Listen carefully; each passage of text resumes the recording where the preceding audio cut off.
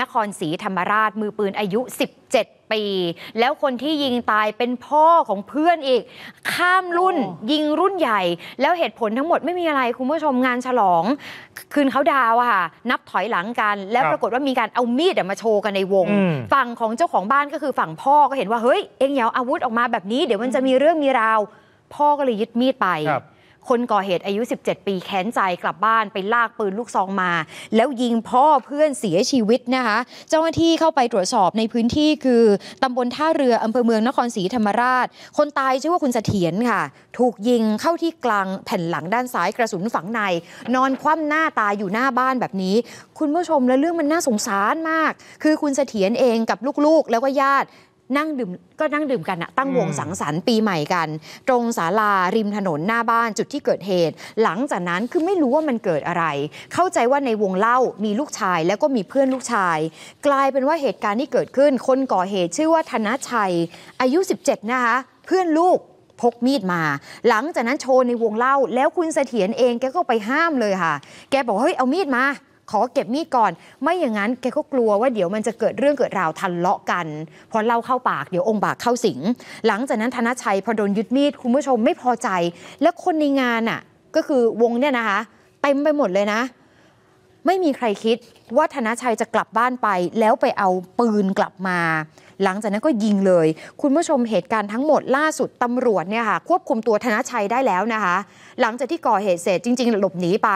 ตำรวจตามตัวไปจับได้ แล้วเห็นบอกว่าไปยึดอาวุธเอามาได้ แล้วก็นำตัวไปสอบปากคครับำล่าสุดทีมข่าวไปเจอคนที่อยู่ในเหตุการณ์อะคุณตั้มคือคุณตั้มเนี่ยนะครับเป็นเพื่อนของคนตายเลยเพื่อนของลุงเสถียรเนี่ย อยู่ในเหตุการณ์แล้วก็บอกว่าจริง ๆ เสถียรเนี่ยลูกชายแล้วก็เพื่อนๆ ลูกชายญาติญาติสี่ห้าคนนั่งรวมกลุ่มสังสรรค์ส่งท้ายปีเก่าต้อนรับปีใหม่ แล้วฟิล์มคนมือปืนเนี่ยนะเป็นเพื่อนของลูกชายเสถียรเขาก็มานั่งด้วย แต่นั่งกันคนละวงตามผังที่ขึ้นอยู่ ที่คุณผู้ชมเห็นเมื่อสักครู่เนี่ยนะครับว่าแยกกันคนละวง วงผู้ใหญ่กับวงเด็ก แต่คุณเสถียรเองเหลือไปเห็นว่าวงเด็ก ฟิล์มมันเอามีดขึ้นมาโชว์เพื่อนๆไงเล่าเข้าปากปั๊บลุงเสถียรแกก็เลยเตือน เข้าไปห้ามบอกเฮ้ยเอาเอามีดมาเก็บก่อนดีไหมพกมีดมันอันตรายแล้วดื่มเหล้าด้วย ยึดมีดไปปั๊บฟิล์มไม่พอใจลุกขึ้นจากวงเล่าเลยนะ แล้วก็บอกว่าเดี๋ยวจะกลับมายิงให้ตายให้หมดเลย แล้วฟิล์มก็ออกจากวงเหล้าขี่มอเตอร์ไซค์ออกไปข้างนอก จนกระทั่งคุณผู้ชมครับ ที่เขาบอกว่าออกไปเนี่ยไม่ได้ออกไปคนเดียวออกไปกับเพื่อนอีกคนชื่อบิ๊กแล้วตีสี่ครึ่ง ฟิล์มขี่มอเตอร์ไซค์ย้อนกลับมาอีกรอบ คราวนี้ไม่พูดพร่ำทำเพลง ควักปืนจุดสองสองยิงใส่หลัง ลุงเสถียรจนล้มฟุบจมกองเลือดเลย แล้วมันก็ขี่มอเตอร์ไซค์หลบหนีไป คือตอนนั้นทุกคนเนี่ยต้องช่วยกันลาก ตัวลุงเสถียรไปซ่อนนะ เพราะกลัวว่าเดี๋ยวฟิล์มมันจะย้อนกลับมาแล้วจะมายิงเขาซ้ำอีกผมกับคนตายเห็นว่าเป็นมีดเลยขอมีดไว้ แล้วก็ไปตั้งบนโต๊ะ แล้วก็บอกว่าถ้าจะกลับบ้านนั้น เดี๋ยวคืนให้ ทีนี้เด็กมันโวยวายก็บอกว่า เดี๋ยวกูมายิงให้ให้หมด ทีนี้มันก็ออกไป ผู้ตายก็ไปดักหน้ารถว่าไม่ให้กลับ นี่ผมก็ขับรถตามไป ผมสองคนนั่งอยู่ที่ไอร้านข้างนอกครับเขาก็ชักปืนใส่ตะกร้าหน้ารถ ผมก็บอก ไปวิ่ง ทีนี้ผมก็นำหน้าแกแกก็ตามหลัง ก็ยิง ปั้งแกบอกว่าถูกแล้ว ไม่ไม่ไม่ทราบเหมือนกัน เพราะว่าผมก็ไม่รู้ว่าแกไปอะไรเด็กบ้างสำหรับตัวผมไม่มีอะไรกับเด็กแล้วก็ผมเพิ่งมารู้กับญาติเขามาบอกว่าผมไปถีบรถเขาเด็กมาห้าคนปาปืนมาพี่ผมจะไปทำให้ ผมก็กลับก่อนเลย ไม่มีไม่ตบไม่อะไร ครับยึดมีดมาตั้ง คุณผู้ชมคะคดีนี้มีสองคน ฟิล์มเนี่ยเป็นคนก่อเหตุ ส่วนบิ๊กที่เป็นเพื่อนร่วมก่อเหตุตำรวจยังตามจับไม่เจอนะคะ เจอแค่มือปืนคนเดียว วันนี้บรรยากาศที่ครอบครัวบีบหัวใจมาก เพราะมันเป็นงานแบบปีใหม่อะแล้วแทนที่จะได้อยู่ในบรรยากาศของการเฉลิมฉลอง กลายเป็นว่าครอบครัวต้องนิมนต์พระ มาอัญเชิญดวงวิญญาณของคุณลุงเสถียรโอ้โหก็เห็นบอกว่าคือทุกคนน่ะไม่มีใครคาดคิดเพราะคุณลุงแกก็เป็นคนอายุยังไม่เยอะ 40 กว่า แล้วก็สุขภาพร่างกายก็แข็งแรง และคนที่เสียใจหนักที่สุดคุณผู้ชม ลูกชายค่ะ เพราะคนก่อเหตุเป็นเพื่อน ลูกชายน้องนัทกฤษบอกว่ารู้จักกับทั้งฟิล์มทั้งบิ๊กสองคนนี้เป็นเพื่อนรุ่นน้องเคยเรียนอยู่โรงเรียนเดียวกัน เท่าที่รู้จักนิสัยใจคอ มันก็ไม่ใช่คนเลวร้ายอะ คือใครจะไปคิดว่าจะโหดเหี้ยมขนาดนี้ แล้วก่อนเกิดเหตุเมื่อคืนเนี่ยค่ะเขาบอกว่าก็ไปหาพ่อเพราะพ่อเนี่ยตอนแรกพ่อนัดกับเพื่อนก่อน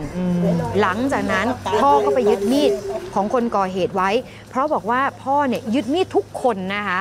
เพราะถ้าใครพกอาวุธมาพ่อเขาห่วงว่าเดี๋ยวมันจะเกิดเรื่อง เขาก็ยึดอาวุธทุกคนเลย แล้วก็ตะโกนบอกด้วยว่า ใครจะกลับบ้านมาเอามีดแล้วค่อยกลับ หลังจากนั้นฟิล์มไม่พอใจ บอกว่าเดี๋ยวกลับบ้านแล้วจะเอาปืนมายิง และไม่คิดว่าจะทำจริง ๆ ฟังเสียงลูกชายคุณนัทกฤษวันนี้ต้องสูญเสียคุณพ่อไปค่ะเขาเป็นเพื่อนของรุ่นน้องแถวบ้านนะครับ เหมือนแบบเขามาเที่ยวหารุ่นน้องแล้วแบบเออเราก็รู้จักแบบรู้จักเฉยๆเราไม่ได้แบบสนใจอะไรขนาดนั้นครับ ครับ มาเคยมีปัญหากันมาก่อนไหมไม่เคยครับ พ่อผมไม่ไม่รู้จักใครเลยในในในนั้นครับเขาเห็นว่าเออเด็กพกมีดมาอะไรแบบเนี้ยพกมาทุกคนอะไรแบบเนี้ยเขาเขาแค่ขอแบบ ขอแค่เอามีดออกมาวางบนโต๊ะ แล้วถ้าคือถ้าใครจะกลับบ้านก็หยิบมีดของตัวเองแล้วก็กลับบ้าน คือพ่อผมต้องการแค่นี้ เขาบอกเดี๋ยวเขากลับบ้านมาปืนมายิงตอนนั้นเราก็อยู่ครับ ผมผมจำคำนั้นได้ ผมไม่คิดด้วยซ้ำครับ เพราะว่าคือเหมือนเราก็เห็นหน้ากันบ่อยๆอยู่แล้วอะเราไม่เราไม่คิดเลยครับว่าเขาจะทำเพราะว่าแล้ววันนี้นัทกฤษให้ดูภาพสุดท้าย ภาพสุดท้ายของพ่อเขานะฮะช่วงที่ขี่มอเตอร์ไซค์จะไปนั่งดื่มเหล้ากับเพื่อน ลองดูภาพนิ่งภาพนี้ ตอนช่วงประมาณ5โมงเย็นเท่านั้นเองเนี่ยซ้อนไปกับเพื่อน วันส่งท้ายปีเก่า ต้อนรับปีใหม่ 31 ธันวา ไม่มีใครคาดคิดว่าเช้าวันรุ่งขึ้น เริ่มสกราชใหม่พ่อเขาจะถูกเพื่อนยิงตายคาวงเหล้าวันนี้ตำรวจนะครับพลตำรวจตรีสมชายซื่อต่อตระกูล ผู้บังคับการตำรวจภูธรจังหวัดนครศรีธรรมราช สอบปากคำมือมีดด้วยตัวเองนะฮะฟิล์มเนี่ยแล้วก็บอกเลยโหมันเป็นเยาวชน แต่ตำรวจบอกร่วมกันก่อเหตุสองคนมีอีกคนหนึ่งคือนายบิ๊ก และจากการเค้นสอบปากคำเนี่ยท่านผู้การจังหวัดบอกฟิล์มเป็นคนที่มีปากเสียง แต่บิ๊กร่วมก่อเหตุด้วย ปมก็คือไม่พอใจเรื่องยึดมีดนี่แหละตำรวจกำลังขยายผล ล่าตัวไอ้บิ๊กอยู่นะฮะว่าร่วมก่อเหตุแค่ไหนพาหลบหนีหรือเป็นคนเจ้าของปืนหรือเปล่า ลองฟังเสียงของผู้การจังหวัดดูนะครับสืบสวนจะทราบว่าคนร้ายในคดีนี้ ชื่อนายธนชัยหรือฟิล์มสมแก้ว ซึ่งอายุ 17 ปียังเป็นเยาวชนอยู่ ประมาณสัก 8-9 โมง ตอนเช้าก็สามารถจับกลุ่มตัวได้ ขณะนี้ก็ได้นำตัวไปยื่นต่อศาลเยาวชนและครอบครัวนะครับจังหวัดนครศรีธรรมราช เพื่อขอให้นำตัวไปส่งที่สถานพินิษผู้ต้องหาก็ให้การรับสารภาพนะครับ ว่าได้ร่วมกับพวกอีกหนึ่งคนนะครับมาใช้อาวุธปืนยิงผู้ตาย ซึ่งจัดงานปีใหม่มาร่วมงานเลี้ยงในงานปีใหม่ในที่เกิดเหตุ นะครับจนกระทั่งเสียชีวิตครับ เป็นอาวุธปืนลูกซองนะครับ ตอนนี้เรายังไม่ได้ปืนมาแต่จากหัวกระสุนเม็ดกระสุนเนี่ยเป็นอาวุธปืนลูกซองครับ ตอนนี้เขาบอกว่าเขาฝากเพื่อนเขาไว้อีกคนหนึ่งที่หลบหนีอยู่ ซึ่งเรากำลังออกหมายจับอยู่ครับ ทราบตัวหมดแล้วครับอ่าร่วมกันฆ่าผู้อื่นโดยเจตนาอ่ามีอาวุธปืนเครื่องกระสุนปืนไว้ในครอบครองพาอาวุธปืนติดตัวไปในเมืองครับและทำนี่ค่ะ คุณผู้ชมก็จับได้หนึ่งแล้วก็ยังหลบหนีอีกหนึ่งคน เยาวชนทั้งนั้นนะคะ อายุ 17 ปีโอ้โห